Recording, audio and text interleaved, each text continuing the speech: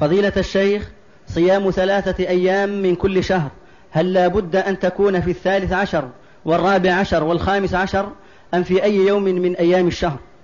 لا ما يتعين اليوم الثالث عشر والرابع عشر والخامس عشر بل يصومها في أول الشهر أو في وسطه أو في آخره لكن كونها في أيام البيض أفضل وإلا هي تصح في أول الشهر أو في آخره لا بأس. نعم.